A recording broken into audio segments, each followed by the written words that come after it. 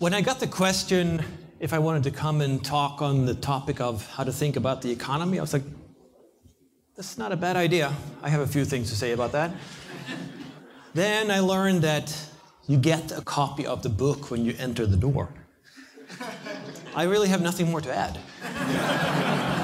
so I'll just stand here. And... Seriously, though, there's a lot that we can talk about uh, on how to understand the economy. And taking an economics course is probably not the right thing to do. So let me first just distinguish between the actual economy and how a lot of people view the economy. And you can see there's a thumb up and the thumb down just as a hint on where to stand on this issue. Okay, so you have one side is talking about the world as a scarce place where we don't have all the resources we need, uh, we don't have all our wants satisfied already, and so forth. We need to engage in production and exchange. And then we have the other side, the other view, which is strangely common, where, if I can see this, where they envision or see the world as a world of abundance or post scarcity. You might have heard that. Um, where there is really enough for everyone already. The problem, though, is that some people have taken more. I don't know why they would take more since there was already enough for them, but that's another matter. So there's a, there are problems in the world, and there's exploitation, and there's power, and that's why the economy sees all these inequality and things like that. Right? So in a sense, this is really oh, this is really the, the world of the view view of the world. Sorry, um, where the world is a magical money tree. There's just money and stuff growing all over the place, and you can just get it. It's, whatever you want, you get, just get it automagically. Okay? Well, if it is really a world, or the, the economy is really a magical money tree where you can get anything you want at any time, there's really no problem, right? Nothing is wrong, which means that someone made it wrong. Okay? There's someone or something that caused all these problems that we see, and what we need to do is get rid of this someone. And that's the analysis, right? We start out in a beautiful place, and then some corrupt dude, and I hear it's this guy, the evil capitalist, destroyed everything, and I hear that I am a lackey of his. I have never met him, but I'm still a lackey of his. Okay, so this is the other side of the story, right? But if you look at the actual data, you might have seen this graph, which really runs only from 1820. But you see the green are the people who are not poor, and the red are the people who are poor. As you can see, something happened over the past couple of hundred years. Something enormous. It was not due to completely free markets, because they didn't exist, but it was due to an economy actually working and producing stuff and creating prosperity for all of us. Now, if you look at this, and here's some lines just to show you, 1820, 10% of the world population were non-poor. I mean, we're not talking poor as in only making 750 an hour. We're talking poor as in starving, right? Now, 10% of the world population are starving. That's a huge difference, right? The question is, where the heck did this come from? How can we understand the economy and the world economy, really, that created this enormous prosperity for people? And this, that's, a, that's a green arrow. That's the difference in 200 years, right? And it's not because parliaments voted one way and not the other. That's not what created it, right? It's something else that created it. Now, that green arrow is pretty big. The problem here, though, is that it's not really just that arrow, even though it is big, but the, the graph is wrong. It says the number of persons. That's not true. It's really the percentage. What happened during this time? Well, this is the world population during this time. So it's not like another 80% of the population was lifted out of poverty, the world population increased by a factor of eight. Eight times as many people, and then only 10% of the people are poor. That's pretty enormous. Right? And just to give you an idea of how can we understand this and, and when did we start studying this? Well, the, Wealth of Nations was written and published right there in the beginning when it all started to take off. A much better book, in my view, it's Human Action, was written later. But you can see most of the population has happened, or the population increase has happened after that. The question, of course, is how can we understand this? How can we figure out what the heck happened? Well, let's talk about the economy. What, what the heck is an economy to begin with? It's not that easy. So I've, I've asked a lot of people, granted on Twitter, so you, you don't get the best responses. You do get a lot of communists, though. Okay, so the economy, what is the economy? There are several ways of explaining the economy, and these four statements are really explanations in themselves, but you can also combine them. Okay? So, in one sense, it's all of us economizing. Each and every single individual trying to do as, as well as they can, satisfy as highly uh, valued wants as possible, and of course, interacting and so forth uh, with each other to do so. But we're really just trying to figure out how can we get the best life possible for myself, for my family, for my friends, and what have you. Another is engage in production. Why? Because if we produce, we're going to get more out of it. Because there is no magical money tree. We can't just pick the next generation iPhone from the tree outside our door. It doesn't exist there. There is no such tree. there is no, nothing auto magic about the world. And of course, there's entrepreneurship. As we know as Austrians, entrepreneurship is the driving force of the economy. It's what change and, changes and reshapes the world and creates our tomorrow. That's how I usually want, want to think about entrepreneurship. It creates our tomorrow, which is a fantastic force to have on your side, right? We can also think of the economy in terms of exchange. We're exchanging one thing for the other, well, a Marxist would say that, okay, so people like to exchange. Why does that matter? Because value is objective, so every exchange, well, we'll just, we're indifferent anyway. Of course, we know that the reason we exchange is that we expect to be better off. In every exchange, value is created by the, for the simple fact that I get something that I want more than I give up, and the same is true for the other party. So both people expect to be better off, that's why we exchange. Imagine a world population of some 8 billion people exchanging, and no one um, trying to hinder them in doing that. There's a lot of value produced already there. Let's look at these four, four different types of descriptions of the economy and see what we can learn from this. So, there we go. All of us economizing. Well, we know that human action is purposeful behavior. Mises teaches us this, right? All Austrians teach us this. So, what is it that we're actually doing when we're acting, when we're economizing? Well, we're choosing between ends to begin with.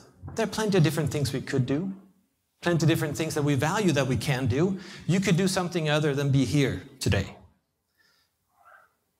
You're not, which suggests to me that you figured this was a better use of your time than doing something else. You might be thinking of differently right now, but it's a, a different matter. Right?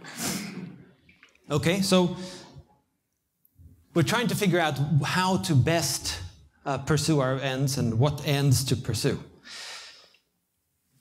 We also need to figure out how to attain those ends. How can we uh, get the value out of the end that we're pursuing? There are many different ways of doing this. It's not that easy, it's not that obvious. Okay? We also have to choose do we want to attain all of our ends right now, or some of them tomorrow, or maybe 10 years from now? So, those of you who have, who have kids, you probably plan a little longer into the future than next week. You might have a college savings fund or something like that, right? This, across generations, even. You're thinking of satisfying your, your wants and, and attaining your ends. Okay? So, what we do then every day and all the time is to rank these ends and the means and try to get as much value as possible out of it. That's, that's the economy. That's all of us. We're interacting, of course, doing this.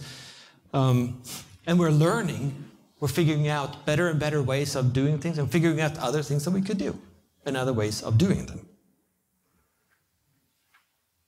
Production. What is production? Well, the first statement might seem a little weird. Production takes time. And then, even weirder, namely that production precedes consumption. Now, if you ask a Keynesian, this is mind boggling. They don't get it. And I've asked plenty of Keynesians, what do you mean production precedes consumption? And I would say, something like, well, you can't eat a slice of bread before you actually bake it. And they go, what do you mean? Which is very odd to me, but that's actually true. So, what they think is if you just give people money from the magical money tree, then customers having money means that they will just draw production out of producers. So you need money first, and then you just get production auto- automatically. Very strange. Well, in our lives, since we have means, uh, since we have ends that we want to pursue later on, we also engage in savings. We don't consume everything right now. So we save. What does saving mean?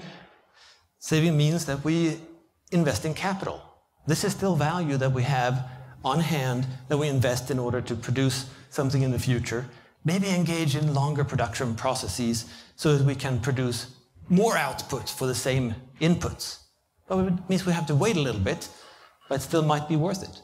We have this trade off over time. Of course, if we, if we produce for others, well, that means that we can specialize. We can produce doing something that we're really good at, whether or not we like or want what we produce. But we're really good at it, and we can develop those skills, and we can trade with others. And therefore, we can gain a whole lot, because maybe I can produce something that you want a lot. I don't care for it much, but I'm good at it. Maybe I like doing it. Who knows? and then I can get a whole lot of purchasing power uh, in return. Of course, there's entrepreneurship, which is my favorite topic. As an entrepreneurship professor, I sort of want you to not understand entrepreneurship a whole lot so that you can take my courses, but I'll tell you anyway. Um, entrepreneurship is speculation. It's really pr- starting production right now in order to offer something later that people might want. You don't know if they want it. It's impossible to know. But you have a gut feeling, or maybe you've done a lot of research. You just know, or you think you know, you hope that you know, that you're producing something that people are willing to pay for later on. Well, what is later on? Well, it could be a week from now, it could be a year from now, or it could be 10 years from now. So a regular a new type of automobile takes five to 10 years from starting to design to actually having it in a dealership. Obviously, that is speculation, because who knows what people will want in terms of personal transportation in 2033. Well, I certainly don't, which is why I'm a professor. Okay, so entrepreneurship is also decentralized trial and error. You have all of these people who see all these opportunities and they pursue them when they think that they might be worth pursuing when there is a, something that they think is going to be very valuable to other people so that they can produce it. Okay? Now, how do they make this distinction? How do they decide this? Well, they start with thinking, huh, this I think will be very valuable to people. How valuable? Well, I think they will be willing to pay this much for it so I can get this revenue a year from now. And then, based off of that decision, you decide, hmm, how much can I buy inputs for? How much can I pay my employees without suffering a loss? So you start with the value and then you select the costs. And by doing that, competing with others, you determine the prices of these factors of production, of all these inputs. You determine wages for people and so forth. Of course, entrepreneurs are also those who figure out, they're the visionaries. They think of new ways of satisfying people, new things that people might like, new ways of, of, or even new values that the consumers don't even know they have yet. They think of those things too, and they bet on producing it. So, exchange. What is exchange for? Well, we exchange every day, like we exchange our labor to get a wage so we exchange for purchasing power. That's the most common uh, activity in the market for most people, right? You have a job, but you have the job not because you like going there. You have a job not because you enjoy working necessarily, but because you get an, uh, an income. And that income means you have purchasing power to buy stuff uh, so that others have produced. Now, this also means, of course, that entrepreneurs who fail are not a burden on society, really. Because entrepreneurs who fail, they still hire people. They still pay their bills until they figure out that they can't sell what they thought they were going to sell. That still means they create jobs. So don't fall into that trap that a lot of people tend to fall into, saying that, well, if we could only uh, plan the economy better so we didn't have all these failures, we would uh, have more jobs. No, we wouldn't. Because people still make, make money in businesses that fail later. They might not have a job as long, but that's a different matter, right? Okay, so businesses, they uh, create new stuff and they make use of all the resources out there. They produce uh, based, they try to maximize the outcome based on the cost of inputs. Now, if you take all of these four things together, these four different descriptions of the economy, what do you get? You get the gang sign of economists, supply and demand graph, or what do you get? no, you don't. What you get, all of this really hints at that what we're talking about is a process. Nowhere, at no point in time did I say that, well, this is the goal of the process. No. This is the outcome that we need to get to. No. Because it's an open ended process we create future value through production. We don't, we don't discover the value that was already there or try to recreate it. We create new value, create more value. Entrepreneurs engage in, in a decentralized decision making on what value might be, what, what Mises referred to as the division of intellectual labor.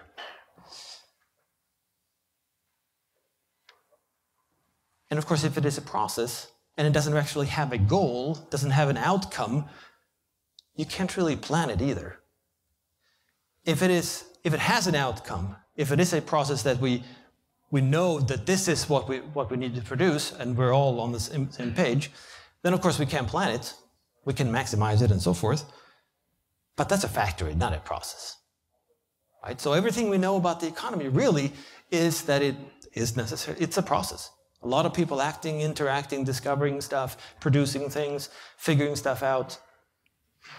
To what, to what end? To all their individual values, to all their individual well beings. Not to some, some common end, except for just satisfaction, perhaps. But that means different for different people. So let's look at the distinction. The factory is very easy. If we think of the economy as a factory, we already have a production process. We already have the defined inputs. We already know the outputs that we're going to produce. We can just put a manager there. It's easy to manage, to tweak a little bit, and, and make sure that we cut the fat and, and have less waste in the process. Right? Easy. The problem, though, is that it is a process, and a process is hard to understand. A snapshot of it, like that, it doesn't help. It doesn't give us a process. Even if we have a snapshot before and a snapshot after something happened, we still don't have the process. Is it a straight line from before to after, or is it a winding road? Well, that matters, right? Is it, those are different explanations, and different understandings of what is going on. Typically, if we study uh, the economy using data, we look at before and after. And then we just assume that we know what happened because we just take the shortest route. Well, the shortest route is not usually not what happens. And a lot of smart people make the mistake. They jump to conclusions. They think that they, they know what's going to happen because it's so obvious. Well, the problem is that if you go through it step by step, it's different. You're going to end up in a very different place than if you jump to conclusions. So we need what Mises referred to as step by step analysis or step by step thinking. Okay? Now, what is the step by step method? Well, there's a quote by, by Mises there, but it really is reasoning through what would happen step by step, as you might imagine. It's not, it's not just saying, oh, before and after, looking at the aggregate structure or the aggregate statistic, but looking at, wait a minute, what does this mean for individuals? How do individuals react to this change? So I mentioned on a previous slide that uh, John Stuart Mill and David Hume made this mistake. They jumped to conclusions. So let looks, let's look at the, the mistake they made. And this is, uh, Mises talks about this in terms of the neutrality of money. Uh, Rothbard is, is very clear in Man, Economy and State talking about this as well. But let's look at how they screwed up. So imagine that tonight the uh, MMT fairy will double everybody's cash balances. So whatever you have in your checking account tomorrow morning when you wake up, it's double. Whatever you have in your wallet tomorrow morning, it's double. Whatever you have in your mattress, it's double. All the Bitcoin and gold, no. Just, just, just the dollars. Okay, just the dollars. What will happen? Will all prices double? What do you say?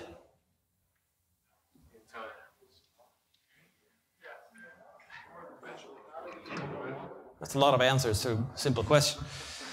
Okay, my answer is hell no. Because the, the problem here is that it's easy to jump to conclusions, right? Prices are this one day. Well, we double everybody's money. Well, the prices are going to be double as well. That's what Hume and Mill, the mistakes, the mistakes that they made. That's not what happens. Because if you think about it, prices are not automagic. Prices come out of people's actions and interactions. So what is going to happen tomorrow when everybody wakes up with more money in their bank accounts and in their pockets? Are they going to buy exactly the same things as before?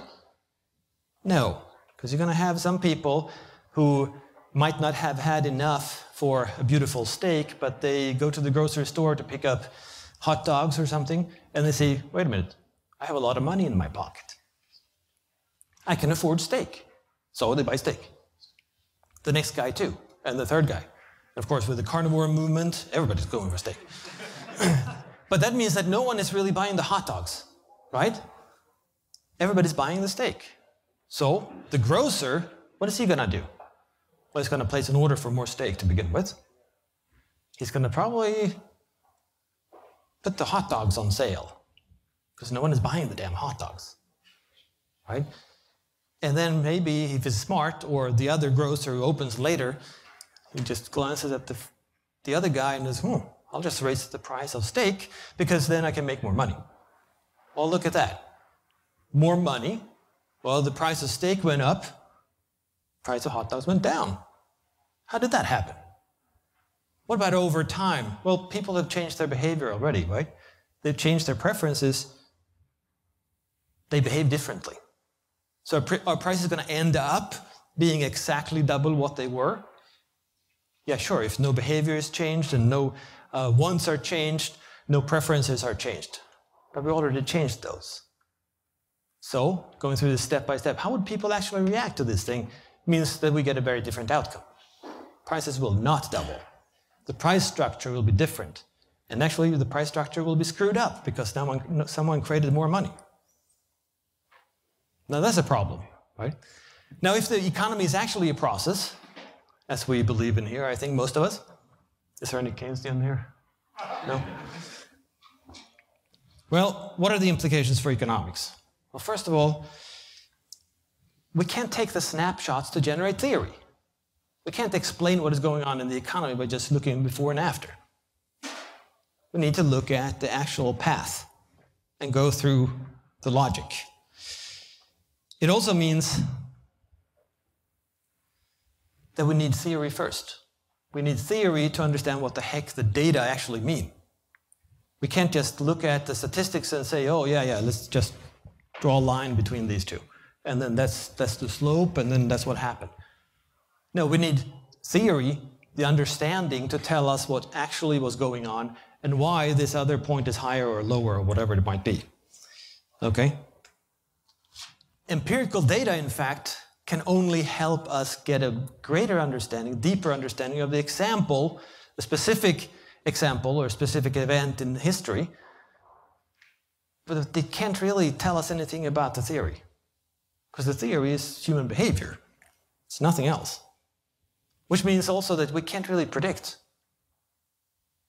We can walk through step by step, but do we know how many people with double the cash tomorrow will buy steak no, there's no way of knowing. So we can't really say, we can't really predict exactly what's going to happen.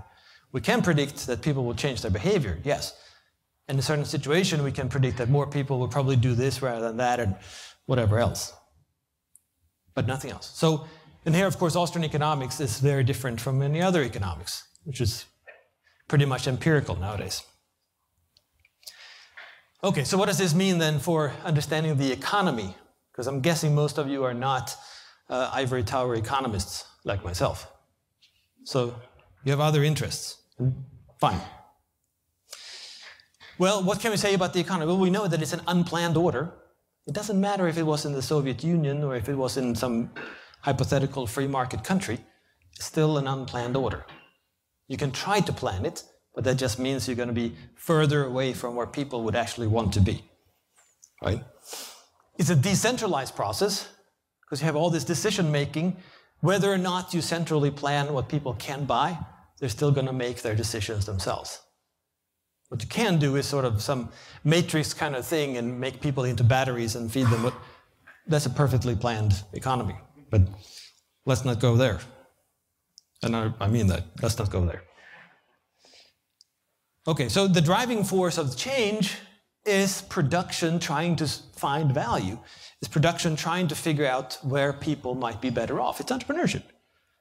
Without entrepreneurship, the economy stalls, the economy stops, and the economy dies. We also know that the economy cannot be maximized. There is no such thing. You can't maximize a process. You can remove barriers and obstacles from the process, but you can't maximize the outcome. That doesn't even mean anything. It's like maximizing the flow of a river. What does that even mean? What you can do, if something is disrupting the river, and this, say it's a big rock or something like that, you remove the rock. But if the river wants to go somewhere, the river will go there. It's that easy.